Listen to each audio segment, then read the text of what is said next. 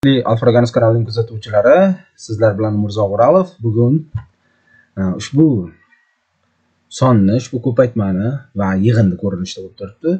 E, ildiz ostidan chiqarishimizga to'g'ri keladi. Xo'p, bu ishni qanday amalga oshiramiz?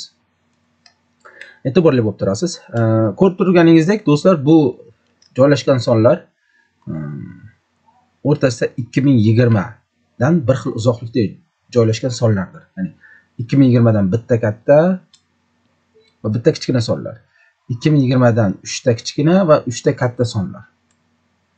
2020 da teng uzoqlikda joylashgan simmetrik sonlar. U holda biz 2020 ni 2020 ni x deb olsak bo'ladi.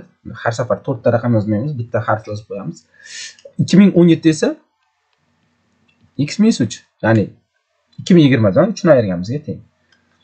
2019 esa x minus 1 ya'ni 2020 dan 1 ayirganimizga teng.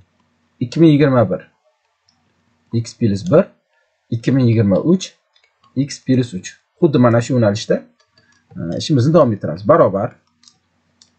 Ho'p yozib chiqamiz. x minus 3 x minus 1 ko'paytirilgan x plus 1 x plus 3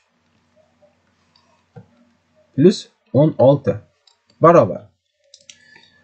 Mana bu ikkalasini ko'paytirsak. X kvadrat minus 9 bu ikkalasini ko'paytirsak. X kvadrat minus 1 a kvadrat minus b kvadrat formulaga ko'ra. Endi qavsni ochib chiqamiz. X ni to'rtinchisi e, minus x kvadrat va minus 9x kvadrat. Natijada minus 10x kvadrat bo'ladi plyus 9 plyus 16 barobar. Barobar. Mana bu x ni minus 10x kvadrat plus 25 bu ayni paytda x kvadrat minus 5 ning kvadrati bo'lib turibdi. Kvadrat ildiz bilan kvadrat qisqaradi va javobimiz x minus 5 chiqadi. Ya'ni e, x ni biz belgiladik 2020 ni 2020 yigirmani kvadrati minus 5 demak ushbu sondan e, ildiz ming 2020 kvadrati minus 5 hosil bo'lar ekan. Darsimiz sizga manzur keldi degan umiddamiz keyingi darslarda. Ko'rishguncha salomat bo'ling.